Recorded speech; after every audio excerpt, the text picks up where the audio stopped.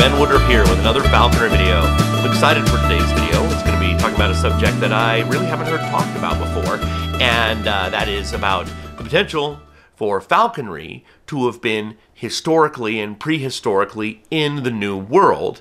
Whether or not that's even a possibility, and if so, what's our evidence, and if not, uh, why why it would not have emerged here. Uh, before we do though if you haven't already please hit subscribe. It really does help me with this channel. And be sure to let me know down below in the comments what you think of this video and what more you'd like uh, talked about on this channel.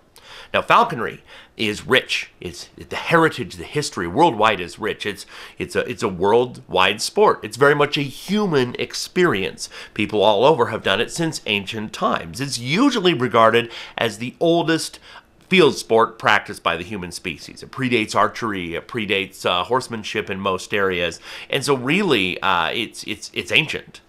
And in the areas where it's been practiced, most areas it has this rich history going back, going back, going back. I am in the United States. Uh, my ancestors were uh, Sami reindeer herders from Scandinavia, and uh, as far as I know, there's no uh, ancient history of falconry there. And so, growing up here in the United States, falconry here really isn't more than 100 years old. And I mentioned this in a recent video. Most people growing up in the United States, our intro to falconry is through Western European um, history, right? Like medieval falconry, Renaissance falconry, a knight in shining armor, and they're carrying their hawk. Uh, for me, what really hit me was Middle Eastern falconry, Arabian falconry. As a young child, the concept of, whoa, hunting bustards with saker falcons out in the sand dunes just just to me is the most romanticized, personally, uh, version of falconry, Arabian falconry. Love it. Uh, but we didn't have this this long history, this long tradition here in the United States, and so, uh, but still, falconry is proliferated throughout the New World. Uh, when I say New World, I mean South America, Central America, Mexico, United States, Canada. New World, New World, right? Uh, the New World falconers in all of those uh, continents, all those regions, practice falconry of the highest caliber today, to this day. Like today, it's very big. You can go all through those areas and find falconers practicing game hawking and doing their thing. But I want to talk about in ancient times. In ancient times, was there falconry in the New World? Now, falconry, I'm talking about hunting, pursuing game. You're taking a trained raptor, you're building a relationship of trust, and then letting them go do what comes natural to them, which is to hunt. And that is something to be put into question. Now, I have a background in archaeology, in anthropology, in addition to biology. So I love studying cultures, especially ancient cultures. And when we do that, it's it's like a detective work. Uh, not all the answers are there. If there's written history, it's being told by the person writing. So, what's their angle? What's their spin? What's their belief system?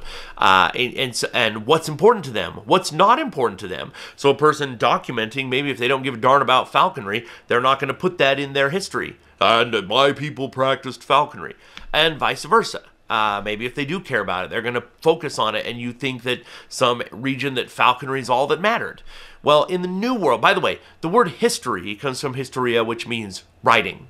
So when we say, what does history say? Or prehistoric, prehistoric means before writing. So prehistoric times are not the same all over the world. It, it's at what point was writing documenting what was happening in that region and different areas that's different times and you could have prehistoric then historic and if writing is lost in an area you're back to uh, non historical again and then historic. That's important when I'm throwing these terms around, that you understand that. But the New World, we do not have officially any solid evidence or proof that game hawking, that falconry in the form of game hawking, occurred in the New World. Something that's cut and dry that we can say, yes, for sure, look, here it was. We do have, in my opinion, four cases to give argument. Now, uh, whether or not there was or was not, that's up to still be determined. And we know it's practiced now. But the world we live in now is very different than the ancient world as far as food, as far as obtaining food, as far as providing food for our birds, uh, refrigeration, captive bred birds to feed, like buying captive bred quail, putting them in a freezer, shipping them, putting them in a freezer at your house, thawing them out in a refrigerator. Uh, that kind of world didn't exist anciently anywhere. And that needs to be factored in. So, four cases, really, there's four cases that I say give an opportunity for discussion of whether or not there could have been falconry in the ancient New World. The first one is about the oldest. There was an archaeological dig that took place in coastal Alaska where uh, native tribes there had lived and inhabited this area. It had a village, a coastal village. They didn't live there anymore, but it was excavated, and in the excavation, several gyrfalcon skeletons were uncovered. Now, this is interesting for many reasons. These skeletons were articulated, meaning they were whole. So when these birds died or were buried, they were laid whole. Okay, no taking apart. And on some of them, there's they, well, all of them looked very healthy. The bone structure, the bone density, the beak, the talons, everything looked that these birds were in very good health. So that could be that could mean several things. Uh, some of them looked as though there was some uh, um, um, indentation, as though there might have been some sort of restraint, like jesses, on the legs. But that's it. We don't have anything beyond that at the site. The weird thing is, it dates back to about 7,000 years old. So this seems to indicate the keeping of gyrfalcons in some way. Now, this does not mean falconry. This doesn't mean hunting. So here's some of the theories. Some people have speculated, well, they were eating them. It's a possibility. But I don't agree with that at all. Because again the skeletons were entirely whole they were articulated. They were not disarticulated. And when you butcher i do experimental archaeology demonstrations for archaeologists and let them film how to butcher with stone tools. And you can tell there's telltale marks when you butcher an animal on the bones when those bones are fresh. Uh, there are slice marks and cut marks and abrasions when you're uh, getting as much material off as you can. None of that is there. Uh, so everything indicates these birds were not eaten. Uh, some have suggested they could have been sacrificed. Like they, and that is possible. They, they if if there was some sort of ritual offering, they could have been uh, killed and and and dispatched in a way that left no marks on the bones, and then buried in a way that was, uh, you know, respectful. They could have been kept just as uh, alive as some sort of spiritual purpose in the village, and then when they died of old age, buried respectfully. Those are possibilities as well. Regardless, here's the strange thing about it. We take for granted uh, today, you know, how much it takes to upkeep a bird. If you live in the Arctic, you are burning through calories like crazy. Uh, any animals you have, if you have dogs, they're burning through calories too. Food is a premium, and so you do not waste food. And so, if you are keeping a bird of prey for any reason, for any length of time, and you're taking the effort to provide protein to those gyrfalcons, you better have a darn good reason. Even if it's not falconry, you better have a darn good reason. Now, even if this is not game hawking, this is a very early date to have humans, for who knows how long of a period of time, keeping uh, falcons in captivity and looking after their care. So there has to be some knowledge of weight management, uh, nutrition, uh, equipment, upkeep for them to have been buried in such healthy conditions. So that's our first one. It's kind of on the fringe there. Don't know what it means, but it's worth noting and worth discussing. The second one um, is something that carries on to this day, and that is in the Amazon basin and going up into Central America, but especially in the Amazon there is a tribal tradition among many of the tribes there of keeping animals.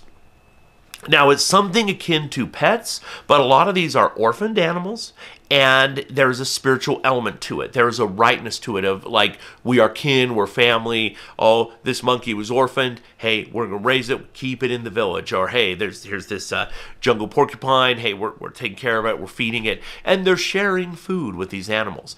This is included raptors, jungle, dense rainforest raptors, even up to and including harpy eagles. which you think about keeping a harpy eagle in a village if you're just a village of hunter gatherers and you're keeping a harpy eagle. Well again that could be a very prominent and spiritual presence. It could be dramatic. Uh, but again there's upkeep. There's equipment that you have to do. There's you know what are you doing to protect your arm if you're moving this this harpy eagle anywhere? What are you doing to feed it? How are you feeding it? How are you managing that? So we current amazonian tribes have no documented history of practicing falconry, but they currently do still keep raptors in these uh, rainforest uh, villages and have a uh, verbal history that they've done this all along and in their stories as well. So again, not necessarily falconry, but this is a springboard from for discussion, but also from which falconry could have or may uh, develop from. Because again, the management keeping an understanding of how they work, how a raptor works or are you flying them at all? Those kind of things. It's not falconry, but it's a it's a, it's a point of discussion. The next one is a little further north, uh, and that would be in parts of, of, of northern, northwestern Mexico and the southwestern United States, where you have Puebloan tribes, ancestral Puebloan tribes, uh, and and modern ones as well. There was a very rich tradition of taking a raptor, usually as a baby. Typically, it would be a golden eagle or a ferruginous hawk. Could be other species too, but uh, as far as our documentation of it, it's usually those species ferruginous hawk or a golden eagle. And having a tethered system, jesses of some kind, and having it be above the pueblo or above the village, and it might have an enclosure at night as well, but basically it lives above the village. It is fed, it is cared for. Now, in some tribes, both ancient and modern, it was just this is you live here, you're with us, okay? You're here for ritual, spiritual, ceremonial reasons. Uh, for some, it's a, a, bird that at a certain age is sacrificed as, as a ritual sacrifice. In some, it is kept for a while and then set free ceremonially. In some, it is kept and then as the feathers are molted, those are ritual offerings given back. Like, hey, we are giving to the eagle, here's food, um, and you are giving these sacred feathers back that are very important to us. Different purposes. Again, every tribe throughout time is going to have a different version of what this means, and the tribe in front of you who is practicing that would be the one to explain exactly what it means to them here and now. But the point is, we have uh, historic uh, 1800s for sure. We know it goes further back, but 1800s on uh, through today, we have this tradition and we know from sites such as Chaco Canyon, Mimbres Valley, Paquime in northern northern Mexico, we know that they there that birds were kept. They understood how to keep and breed macaws, scarlet macaws, and military macaws. Uh, we know they kept, bred, and domesticated several species of turkeys. But in addition, there was this tradition from the wild of wild eagles and wild ferruginous hawks being kept and cared for. This, again, there are tribes who still do this today and have permits issued to allow for this. This is interesting. And again, this isn't falconry, but it doesn't mean that it couldn't have been practiced in some form somewhere in the ancient southwestern United States or northwestern Mexico. It could have. But this is different because this is an agrarian way of life. My example in Alaska, hunter gatherers. Uh, my example in the Amazon, hunter gatherers. Uh, Puebloan cultures and Puebloan tribes, peoples, are agrarian and rely very heavily on on agriculture, on growing several specific crops.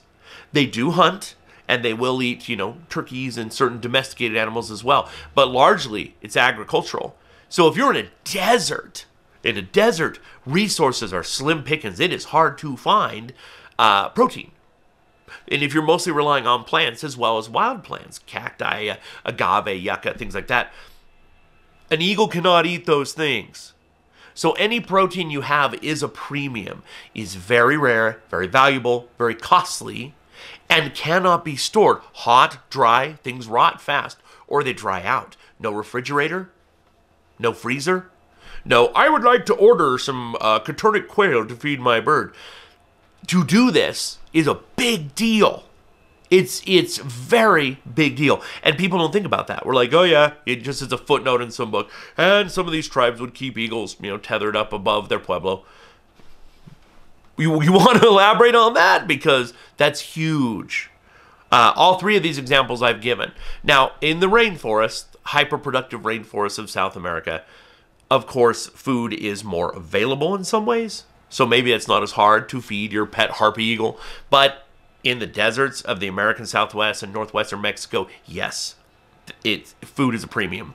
Uh, protein is a premium. So again, we do not know if actual falconry is practiced. It hasn't been documented, and we don't have an oral tradition that it's ever been shared.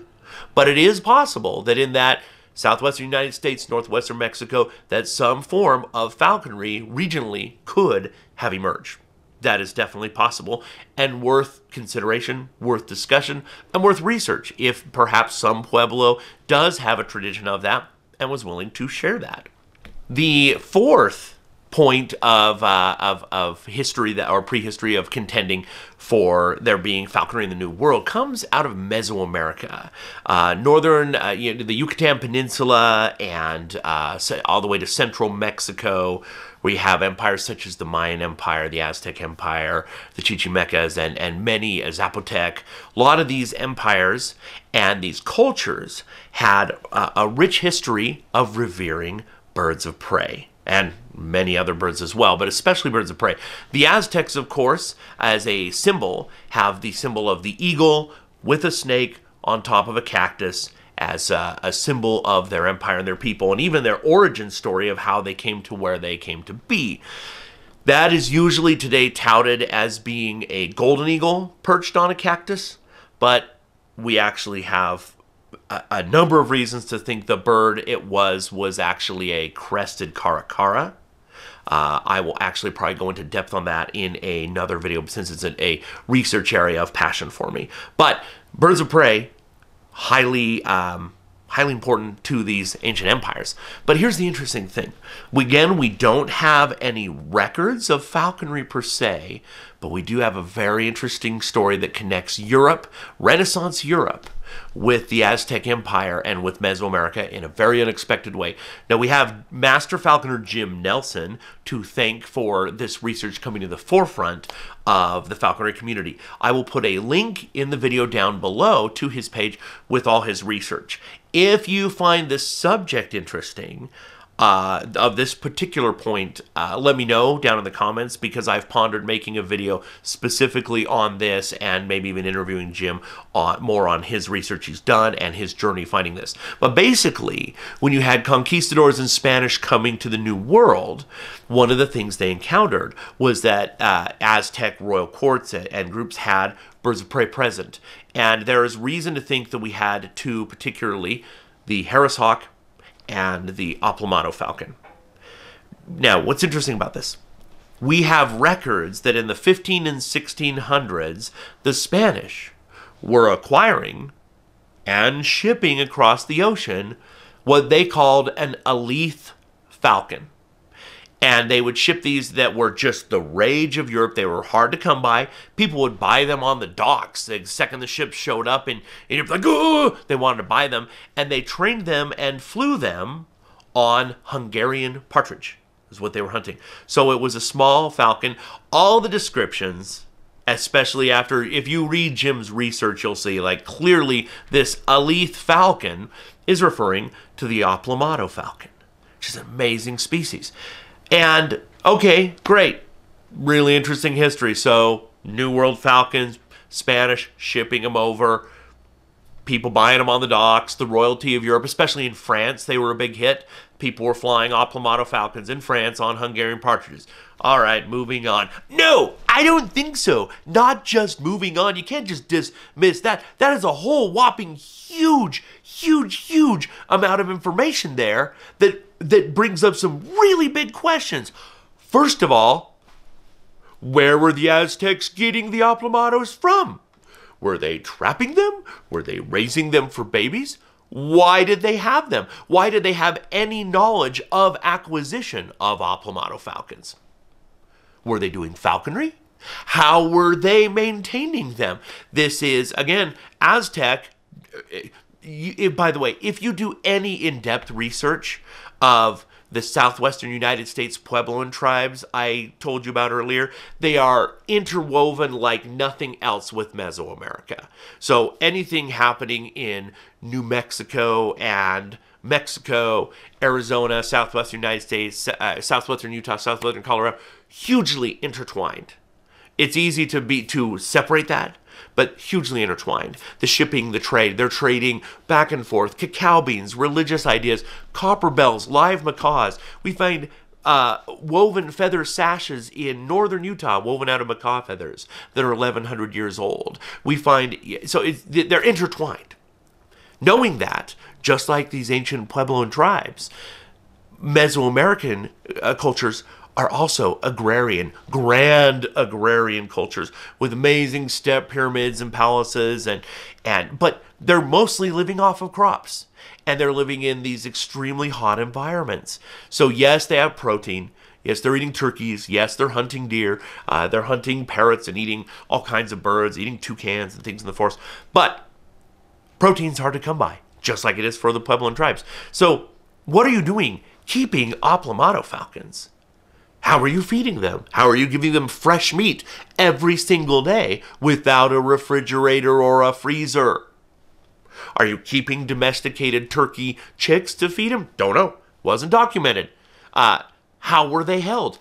Anybody who's ever worked with Aplomado falcons know Aplomado falcons uh, are delicate more so than a lot of other falcons. They're they're gangly and lurpy. They can easily uh, damage a leg. They easily damage feathers. So how are they keeping keeping them? Are they using perches? What do they look like? Are they using gloves? What did an Aztec glove look like? Do they have jesses?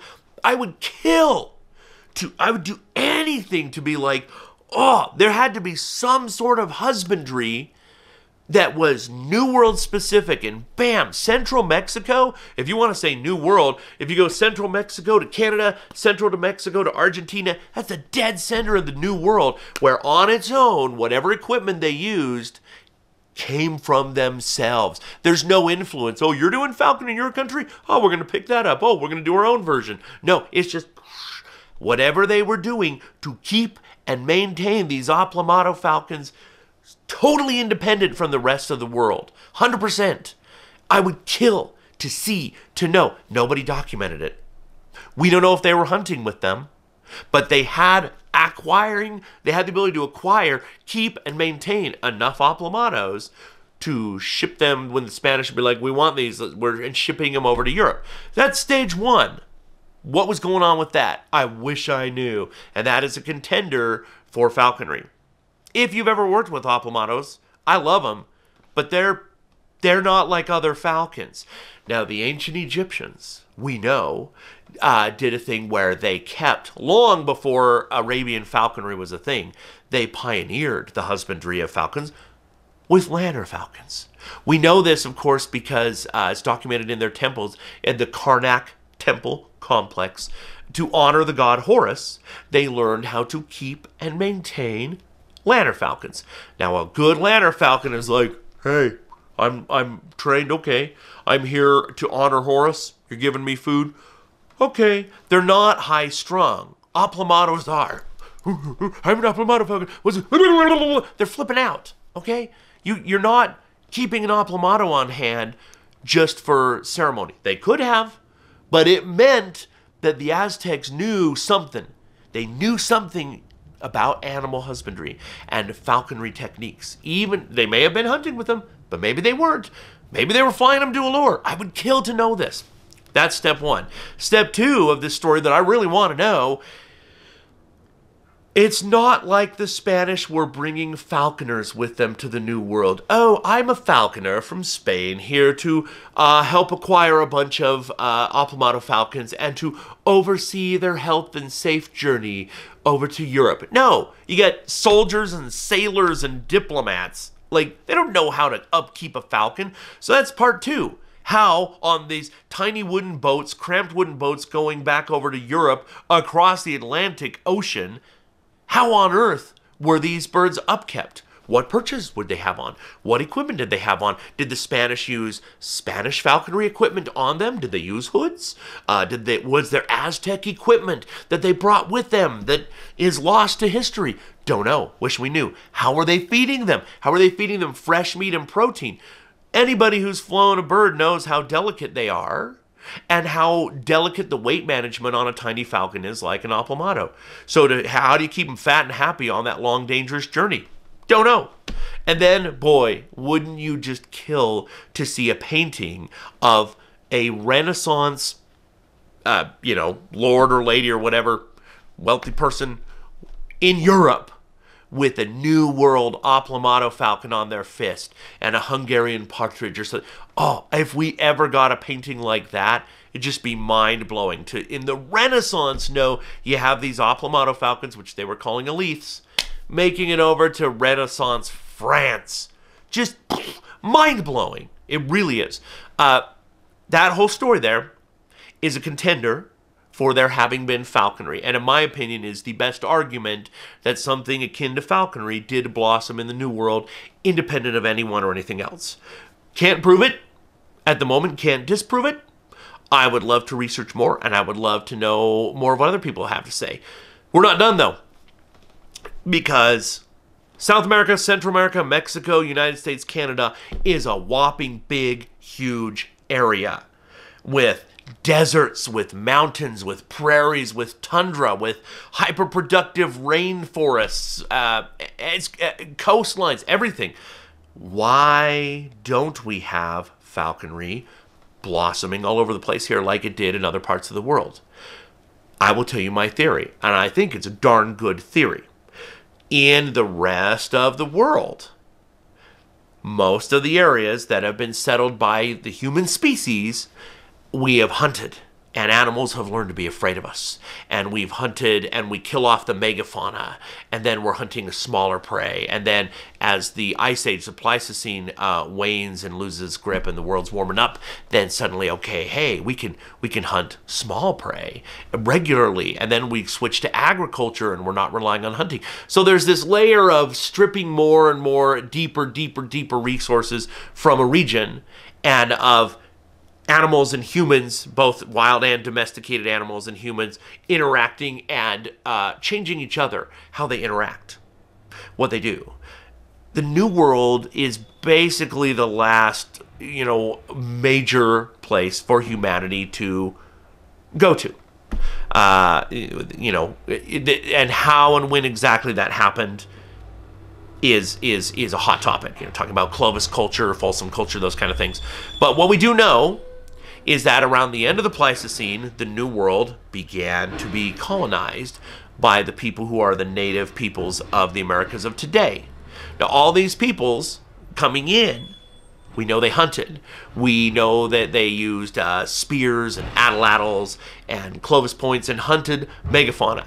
They were entering a world with six different species of woolly elephant. You know, woolly mammoth, steppe mammoth, Columbian mammoth, Gomphothere, Platybelodon, Mastodon. Uh, six different species of bison. 14 different species of antelope. Uh, horses, zebras, camels, llamas. Two of these ancient camels were as tall as giraffes. One of them had saber teeth. Uh, giant ground sloths some of them, like Megatherium, as big as an elephant. The uh, giant armadillos, the size of a Volkswagen bug. And all of these things, all these species had no uh, background with humanity. They didn't know what a human was. And I've had a chance to have a small taste of that from time to time. Well, first of all, you go to Yellowstone, animals are used to us, but you can just walk up to a buffalo, you can just walk up to a coyote, right? Uh, uh, the area I grew up in, our western desert, used to not have people go out in it. And as a teenager, when my friend and I would go out there, you could walk right up to the antelope. And they're like, What are you? Because a lot of these antelope had never seen a human. We were so far out in the desert. And same thing, if you have a year when rabbits are born and they haven't encountered human hunters yet, you walk up. I, there was a time I just picked up a cottontail rabbit. And I'm like, This is a baby rabbit uh, okay, as a teenager, I'm like, this is odd. And the, the natural animals aren't naturally wary of humans necessarily. And you had multiple continents in the New World where that was the case. Food was just standing there. Which is better? It, we, we forget the fact that falconry came about not as a hobby, not as a I'm passionate about birds, not as a status symbol. Oh, I'm aristocracy. I have this species of falcon. It was none of that. It came about originally as a as a way to get food, a more effective way to get small game, upland game, waterfowl. That's what it came about for. We forget that. So many falconers I know, when they hunt, they don't even eat what they catch. And they're disconnected from that. But there wasn't need for that in the New World because there was just so many species of megafauna that had no experience with humans and their numbers were over the top. You walk up and kill something, stab it stab, hum, okay, you know. You kill some, you know, longhorn bison, uh, bison latifrons, 12 foot wide horns. It's like, hi, stabbity stab. Ugh. Well, that's going to feed you guys for a long time. A lot more than I'm going to get a falcon and I'm going to learn, develop equipment and I'm going to train it to kill a duck.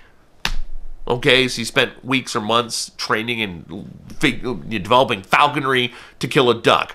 Okay, there's your happy meal. Tomorrow you got to get more food. Makes more sense to hunt this readily available megafauna. So same thing. We don't see falconry uh, coming about in other areas where you have a same situation. Take a look at uh, Madagascar. Madagascar, uh, there was tons of megafauna. The people who came there, it's like, hey we can kill the elephant birds. We can hunt the much larger giant lemurs. We don't need to take the few raptors here and develop that. New Zealand, uh, when the Maori come there, uh, there's all these birds, and there was birds of prey, a few like New Zealand falcon, right? Uh, but it's like, hey, there's these moas, these 10, 15 foot tall giant flightless birds that are not afraid of humans. You just go up, stabbity stab, bam, your food. There's no reason for falconry to come about when you have food that easily. Okay, and same thing, Australia. Uh, you know, Australia has uh, many raptor species that would be fabulous for falconry in the ancient world, but there was no reason to because when the first uh, Aboriginal Australians arrived and began to colonize Australia, the megafauna was just like North America. Uh, there weren't elephants there, but there was equivalent things. There was giant wombats, diprotodon, the size of a minivan. There were there were there were short-faced kangaroos. There were kangaroos with antlers. There's so many. There was a, a giant uh, goose thing called Genyornis that was flightless. There were just these uh, huge animals. You get a spear, you get an atlatl, dinner. We're eating. Why do we need to learn to take a falcon or a hawk and and use it to hunt small game. The big game is everywhere and the big game is not afraid of us. This was true from Canada to Argentina and whatever order that was settled in is argued by archaeologists, but we know that it was happening around the end of the ice age onward.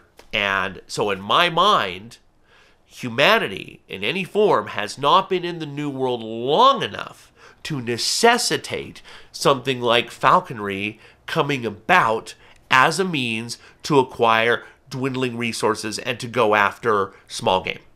There's not an advantage anciently in the New World to go after small game with a trained raptor when big game was so much easier. Now, you wouldn't say the same thing. You do those same time periods. Uh, hunting big game in uh, Europe at those same time periods was hard because thousands of years of, of being hunted, it's like, hey, you know what? There's grouse, there's ducks, there's herons. Yeah, if we can get a duck every day throughout the winter, that's great. That's a good meal since it's so much harder to get close to a Irish elk or a you know whatever uh, European bison. It's hard, and so that makes sense why the rest of the world falconry comes about. Uh, that is my theory currently, and I'm fine if it's wrong, but I think it's a good working theory. Now, again, I would really be excited to know if somewhere in the new ancient New World falconry did come about. And again, my personal opinion is Mesoamerica would be the place where it most likely to have been.